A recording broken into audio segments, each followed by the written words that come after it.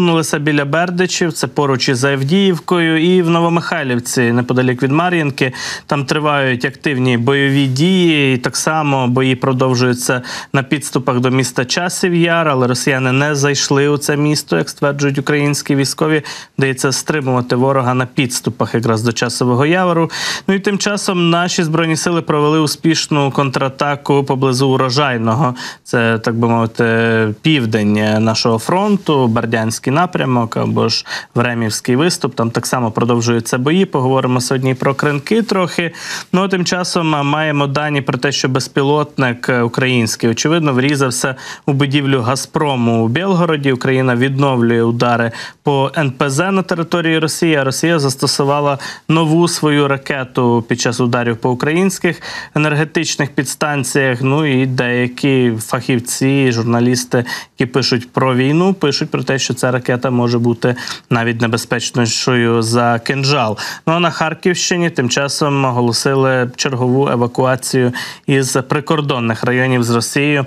Так само про це будемо говорити. Отже, почнемо з Білгорода. Сьогодні оглядати карту бойових дій. У нас е, у місті Білгород безпосередньо відбулася надзвичайна ситуація. Дрон долетів до будівлі Газпрому і врізався в неї в цю будівлю. З місця події сьогодні, вже зранку, в ранковий час, з'явилися такі кадри. Видно, що будівля серйозно не постраждала, скажімо так, тільки фасад оббило трохи цим вибухом або навіть просто врізанням самого дрона, влучанням дрона у саму стіну. Але є постраждалі. От місцевий там губернатор, так званий представник московського злочинного режиму Гладков, каже, що Білгород зазнав атаки ЗСУ з допомогою БПЛА, самольотного типу, як же ж без цього. І цей безпілотник, мовляв, різався в адміністративну будівлю. Не не сказав, якого саме підприємства. Вже згодом стало відомо, що Газпрому. І далі Гладков додав, що внаслідок цього вибуху постраждало двоє людей. Вони поранені. В одного чоловіка осколкове поранення ноги, в іншого осколкові поранення і руки, і ноги. Їх госпіталізували. Ну, коротше кажучи, є якісь постраждалі від цього вибуху, але сама будівля, на жаль, навіть стіну не пробило, якоїсь пожежі не сталося. А загалом там кілька дронів росіяни кажуть, що вони нібито знешкодили над Білгородщиною. І є ще декілька повідомлень про удари дронами по Новошахтинському НПЗ, що може свідчити про відновлення таких атак по нафтопереробних заводах на території Росії, але немає у нас поки що деталей та якихось відео, фото. Отже, доказів об'єктивного контролю, що та атака на Новошахтинський НПЗ була успішною. Будемо сподіватися, що це було так. Ну а тим часом із Росії з'являються кадри наших дронів, які там лежать десь у полях. Ну, принаймні, один дрон лютий зафіксував місцевий мешканець на Росії. Можемо побачити ці кадри. Лежить у полях такий безпілотник. Ну і видно по його конструкції, що це саме дрон лютий, сірого кольору. Дуже в нього хвостова частина характерного такого вигляду. Не можна впізнати цей дрон доволі великий. Він, як бачимо, по розмірах, от обходить його там якийсь росіянин в полях, от знімає, а потім бачить український напис на крилі і робить висновок, е, що це український саме дрон. Там пише не чіпати рухома частина. Дальність польоту такого та дрону приблизно, як ми знаємо, 700 кілометрів.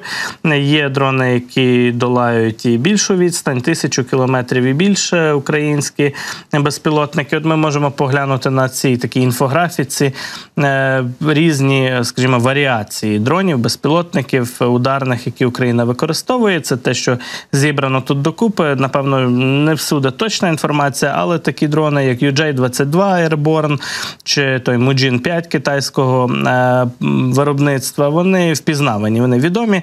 Ну і от третій знизу, тобто третій, якщо згори дивитися так у ліву частину кадру, е, то там е, якраз дрон лютий зображений, і в нього якраз хвостова частина доволі таки цікавої форми, таким трикутником зроблена дашком, і він впізнається по своїй конфігурації. Поруч дрон Бобер у центрі кадру він відносно невеликого розміру. Ці бобри долітали там мало не до Москви, тобто теж доволі далеко можуть летіти. Ну а внизу схожий на аероплан чи одномоторний літак. Це є власне одномоторний літак А-22 літаюча лисиця, Фоксбет. Теж тепер уже ударний дрон. І, ймовірно, саме такі дрони долетіли в Татарстані по заводу з виробництва шахедами. Ну, отже, бачимо, що Україна використовує дуже різні варіації таких ударних дронів, і от вони де іноді долітають, іноді не долітають до цілей. Переважно спокійно долітають, скажімо так.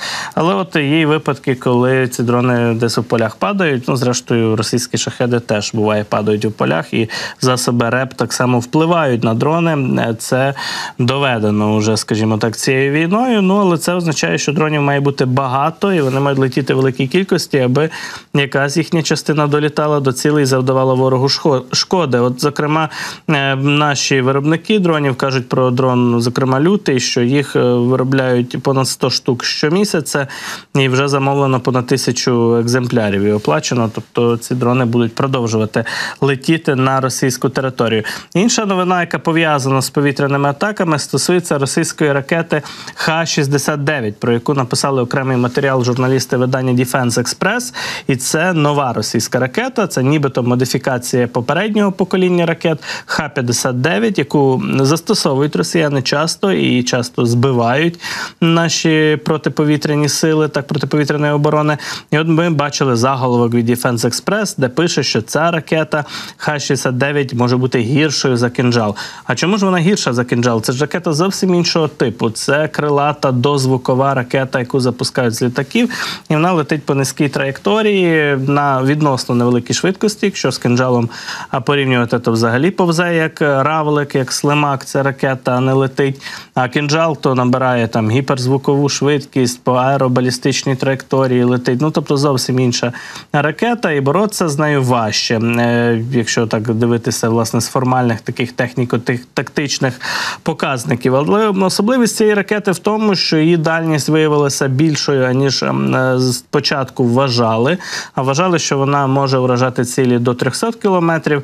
А тепер, судячи із джерел Defense Express, а це очевидно люди, які вивчали уламки цієї ракети на Київщині, поблизу якраз Новотрипільської або на місці влучання у е, перепрошую Трипільську, не Новотрипільську, Трипільську ТЕС, найбільшу енергетичну теплову станцію, електростанцію у центрі України, яка живила Київщину, Житомирщину і Черкащину 3 мільйони щонайменше споживачів. От е, то власне на місці ударів по Трипільській ТЕС виявили уламки, нібито цієї ракети Х-69.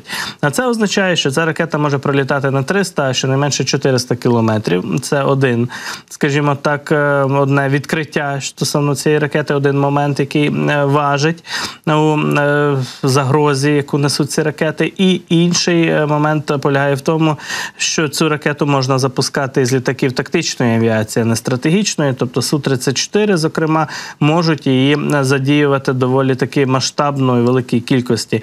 Ну а ці літаки Росія постійно піднімає в прифронтовій зоні і на своїх російських територіях.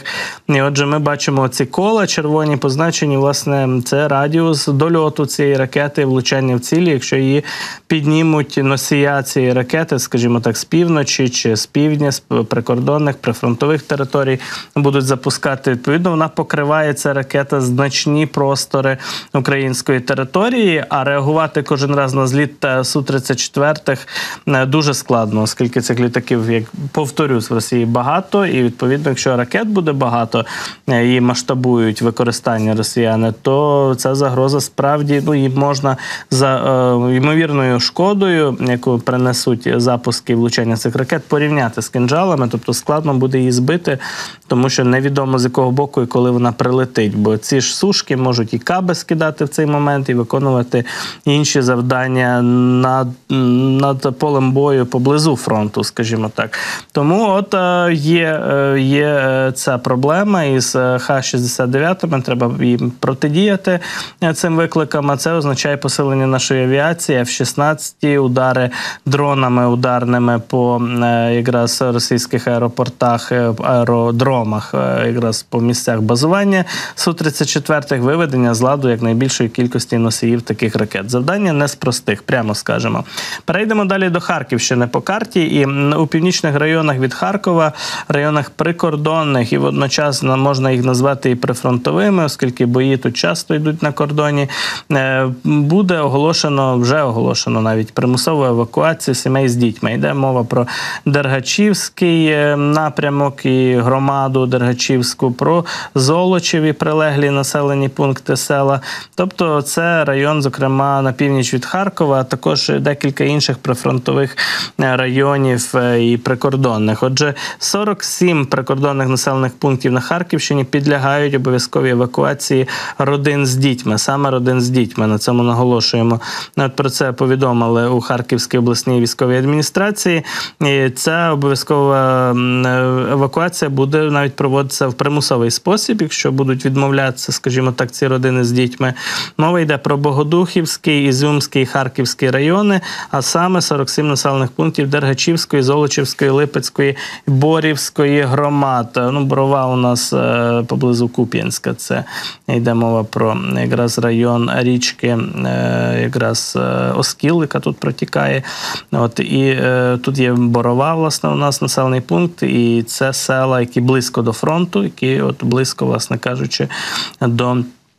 Лінії бойового зіткнення, тому там часто прилітають каби, відбуваються обстріли. І є випадки, коли родини з дітьми поверталися вже у свій населений пункт, в свій дім на Харківщину е, після, скажімо так, е, звільнення цих районів, так або після того, як їм здавалося, що небезпека знизилася.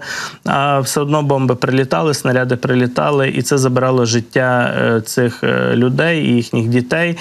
Тому небезпека висока, і, от зважаючи на таку підвищену загрозу прийнято рішення про примусову евакуацію. За інформацією місцевої влади йде мова про сім'ї, де живуть сукупно загально 182 дитини. Оці діти і їхні батьки підлягають евакуації обов'язкові. Е, тим часом у нас саме по лінії фронту, тут е, в районі Куп'янська, в районі Сватового, ось цей район нічого в принципі не змінилося. Ми знаємо, є дні, коли тут взагалі ворог не проводить наступальних дій, тобто бракує тут росіянам зараз ресурсів ресурсу, аби дуже активно е, рухатись вперед. От біля Табаєвки і Крохмального, які активні бої йшли ще кілька місяців тому. Росіяни сподівалися тут прорватися в бік осколу, якраз через піщане, Берестове, ось до е, цього місця, саме на карті Сенькове, так де є переправа через Оскіл. І їм цього не вдалося зробити. Було зупинено тут спробу російського прориву, стабілізовано ситуацію. В Табаєвці значну кількість позицій відбили, зокрема військові 67 і 60 бригад бригад. І відтоді тут, в принципі, ситуація спокійна, контрольована, особливо якщо порівнювати з Лиманським напрямком, де росіяни продовжують товктися і намагатися прорватися до річки Чорний Жеребець в районі Тернів і Ямполівки. Однак успіху вони не зазнали е, на цьому напрямку і минулої доби, і жодних проривів, просувань тут і в Серебрянському лісництві, і в районі Тернів і Ямполівки не було зафіксовано. Далі у нас е, е, Білогорівка і Сіверський Сіверський напрямок. Це район уже з іншого боку річки Сіверський Донець на південь від е, цієї річки. І от на Сіверськ росіяни тут намагаються рухатися в напрямку населеного пункту Виїмка по залізниці, чітко, майже чітко на північ, е, більше на північний захід, скажімо так, це напрямок. І отут штурми біля Виїмки, біля Берестового постійно продовжуються. Знову ж таки, йде мова про те, що ворог намагається тут покращити своє тактичне становище і трохи проповсти у бік виїмки, в бік Сіверського. Наші військові е, тут росіян стримують. Просування зафіксовано не було на Сіверському районі ведення бойових дій. Далі Бахмут і часів яр. В першу чергу часів яр у нас е, у фокусі нашої уваги. Відповідно, пишуть наші військові, зокрема такі телеграм-канали, як говорять снайпер, Бахмутський демон, тощо що часів яр утримують наші е, військові під нашим контролем, в тому числі оборонці отримують і е, район канал, найсхідніший район, відірваний дещо від основної частини міста. Він якраз от е, за каналом Сіверський Донець Донбас розташований. Цей мікрорайон, такий невеличкий справді район заселення. Росіяни до нього підійшли дуже е, близько, в притул, фактично, по трасі з Хромового. От проривалися, і це чітко видно на карті State, що от тут ну буквально в притул підійшов ворог до перших вулиць. Були навіть повідомлення про те, що росіяни зайшли на вулицю Зелена, яка заходить з цієї траси у часів яр, і там продовжували бої. Але очевидно, ворога вдалося вибити. Ну, принаймні е, з наших джерел от відомо, що дійсно ну часів яр контролюють наші військові, точно контролюють його основну частину, скажімо так, що за каналом. А тут подекуди бої вони е, постійно виникають бойові сутички. Росіяни закидують сюди десантні штурмові групи і продовжують власне е, промацувати цю лінію оборони. От в районі каналу Е, в своїх телеграм-каналах росіяни, їхні пропагандисти, вже давно стверджують, що вони в часовому ярі присутні і там от тривають вуличні бої, скажімо так. Але тут ворогу вірити не можна. Ну і нема підстав достатніх. Були б вже відео підтвердження того з дронів зняті, що росіяни там ну активно повзають вже часовим яром.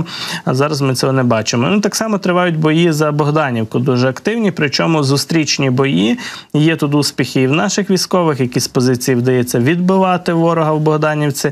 Росіяни контролюють приблизно до 70% цього села і пробують ось цими висотами, де ми намалювали лінію, в бік Калинівки просунутися, рухатися, оскільки це панівні висоти в цьому районі. і Вони дозволятимуть обстрілювати потім е, часів яр і накочуватись на місто з півночі, зокрема на мікрорайон Жовтневий. Отже, до Калинівки прорватися ворог собі таке завдання ставить. І, Ну і пишуть також про те, що в Іванівському ситуація більш-менш заспокоїлася. Е, Більше резервів так е, розтягувати в росіян немає навколо Бахмута по всіх напрямках і на часів Яр, і на Іванівське, на Кліщівку з Андріївкою. Тож зараз е, пишуть в останні дні Іванівське взагалі стало навіть менше цікаве росіянам. Наступальних дій майже не проводять, але сильно кошмарять дронами. Сам населений пункт, як відомо, розташований у ямі. Позиції тут невигідні, тому спрямовують ці сили в напрямку часового яру. Іванівське, як ми бачимо, росіяни теж взяли собі, е, скажімо так, за мету обійти з півночі вздовж траси, якраз е, Бахмут Костянтинівка. От вони рухаються до каналу вже згаданого Сіверський Донець Донбас. А в самому Іванівському трохи вщухли події, але очевидно, що це пауза тимчасова, оскільки аби е, розгорнути повноцінну операцію за часів яр, доведеться продовжити наступальні дії і в Іванівському росіянам, тому що без взяття Іванівського під контроль, оце просування вздовж траси, обхід часового яру з флангу, е, це дуже ризикований маневр, оскільки можна отримати удар, скажімо так, із південного боку, е, удар з флангу, теж фактично, і відбудеться перерізання цієї клешні, яка рухається на часів яр. Тобто їм треба буде йти ширшим таким фронтом. Тут а для цього треба наступати і в Іванівському, і в Кліщівці, і в Андріївці, що вони намагаються час від часу робити без особливого успіху і зазнають тут е, втрату. Отже, така от ситуація по Бахмутському напрямку. Вже сьогодні е, тут було повідомлення зранку про те, що росіяни е, організували атаку в бік часового яру, залучивши 15 одиниць бронетехніки. Нашим вдалося відбитися. Половину із цих одиниць техніки знищено, а половина відступила.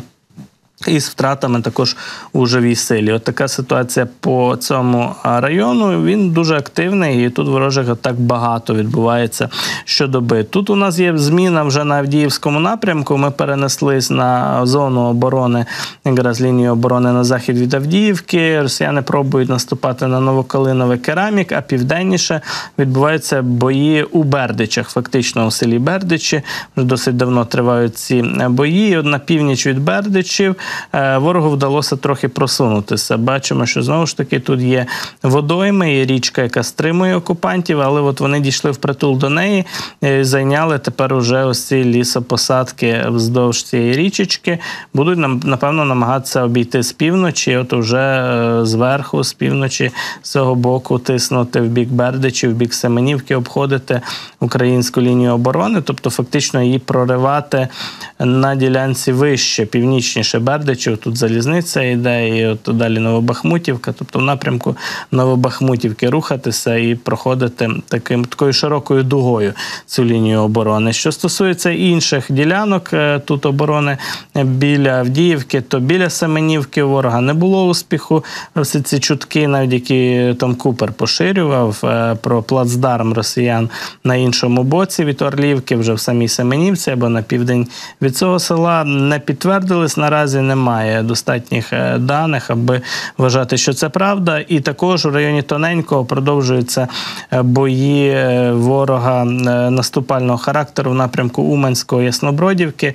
Знову ж таки, за минулу добу ми тут змін не маємо, але от за попередній день трохи над станом на 10 число ворог просунувся і закріпився південніше.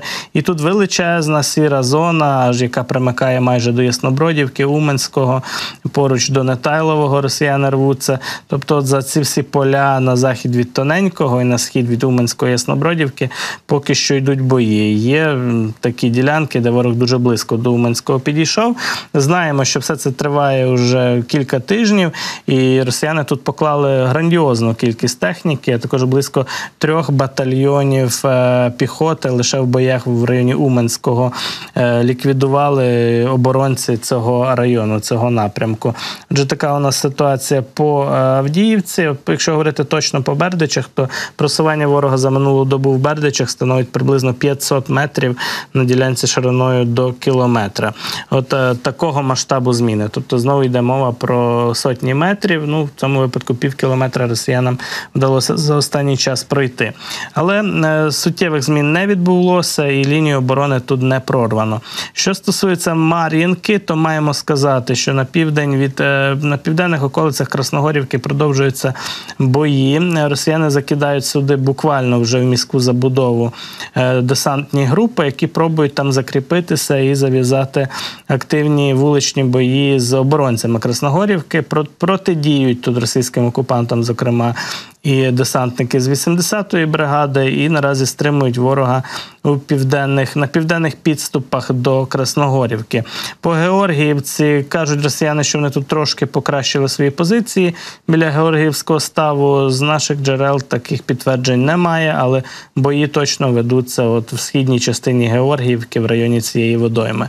Ну і стосовно Новомихайлівки, знову ж таки бачимо, що фактично українські військові присутні у західній частині цього села. Центральна вже майже вся під контролем окупантів. Лишилося тут буквально. Тут е, третина цього села на заході, яку контролюють українські військові, або де продовжуються бої. Е, село це важливе, оскільки відкриває ворогу шлях на Костянтинівку, на логістичні шляхи дороги в цьому напрямку, зокрема на південь і до Вугледару. От е, тому е, за Новомихайлівку такі активні бої і точаться. Ну а поруч у нас район якраз Времівського виступу. Є тут е, новини, зокрема з приютного з цього села, де росіяни проявляють неабияку свою неабияку активність і дуже активно впівдронами нальоти здійснювалися за останній час. От е, наші військові відповідають тим же і впівішками. Ну і мова йде просто поки що по роботі, по позиціях, укриттях е, ворога. Наші будують тут лінію оборони так само, оскільки задум е, росіян рухатися північніше він зрозумілий, і ділянка біля приютного дуже дуже активна. Тут є каскад таких ставків, озер, за які е, окупант, е, росіяни планували е, якраз загнати українських військових, і бої точилися тут ще кілька місяців тому із такою метою, але цієї мети не було досягнуто на підступах до цих водойм. Ворога було зупинено. Ну і успішну контратаку наші військові провели на південь від урожайного. Є кадри, які ми на Ютубі показати не можемо. Там штурмова група наших військ зачищає позиції, які займали росіяни. Тобто йде мова знову ж таки про невеличку лісопосадку в полях біля річки Мокрі Яли, де росіяни накопали багато траншей, е, зробили собі такий укріплений пункт, і його було зачищено і взято під контроль нашими військовими. Ну невідомо, чи вони там залишаються, закріпилися, оскільки це така сіра зона вже близько дуже до е, російських позицій, але принаймні зачистили і там настріляли ворогів добряче. Отже, успішна контратака наших штурмовиків від біля урожайного. Ми її відзначаємо. І з тим коментарем, що наші контратаки власне мають також наступальний характер, е, зачистку території і проводяться постійно на багатьох напрямках і ділянках фронту. Це не означає, що наші просто там відходять. Ні, ведуть зустрічні бої і завдають ворогу чималих втрат. Отже, це ситуація по вже стику фактично Донецької і Запорізької областей. В самій Запорізькій області найбільш примітним районом є район Роботинського плацдарму. Де продовжується тиск ворога на саме Роботине з півдня, і от певні уточнення відбувалися за останні дні. От заходу тиснуть на Роботине окупанти і з півдня, знову Прокопівки. Отже, 9 числа карта змінилася на 10 незначним чином. Ну а зараз бачимо, що сіра зона збільшилася на південь від Роботиного, від Новопрокопівки. Тут залишається лише от такий е, виступ е, зеленого кольору. От і йде мова, очевидно, про те, що там трохи відійшли в північнішому напрямку, в саме село, скажімо так, стягнулися українські військові під тиском ворога. Росіяни забігають постійно на південну частину роботаного і там зав'язуються е, бої. Загалом принципово цей плацдарм змін за цей тиждень не зазнав. Ну і по кринках по півдню маємо такі кілька повідомлень. Росіяни продовжують якісь такі накати штурми цього плацдарму на лівому березі, е, намагаючись скористатися своєю чисельною перевагою. Ну але це переважно закінчується втратами різного характеру. Ну і з'явилися там кадри від птахів Мадяра, як ті з дронів скидають такі шипи з арматури, що пробивають колеса е, російських вантажівок. Можемо зараз на ці скріншоти поглянути. Отже, ось як виглядає колесо російського Урала, чи то газона, якоїсь вантажівки, якою намагалися окупанти рухатись вперед, і нарвалися на такі от подаруночки, несподіванки, розкидані з дронів, якраз птахів Мадяра у цьому районі біля кринок. Загубили колеса, що називається. Як цей е, пристрій виглядає? Ну це простий такий з арматури зварений шип, е, так, е, з опорою, ну, типу міні-їжак такий. так. І от він е, впивається в колесо і просто зносить е, шину, от покришку і кромсає, і вона непридатна більше навіть до ремонту і до використання, завдає суттєвих втрат таких пошкоджень автомобілю. Ну і от було зупинено це якраз ці скріншоти е, з російського відео. Було зупинено таку вантажівку, яку начинили росіяни своєю піхотою, і от гнали її туди в бік якраз плацдарму на лівому березі, аби та піхота висадилася і штурмувала. Ну от не доїхали до, до лінії бойового зіткнення. І от такі засоби годяться.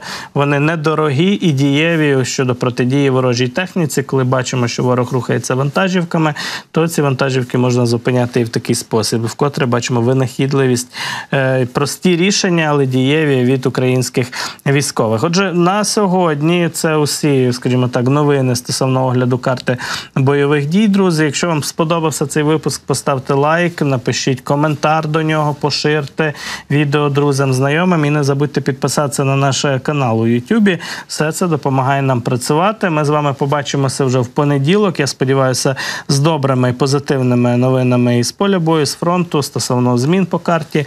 Ну а завтра і післязавтра огляди буде провадити мій колега Ігор Гаврищак. Тож теж не пропустіть. Подивіться. Ну і я кажу вам до понеділка і до зустрічі.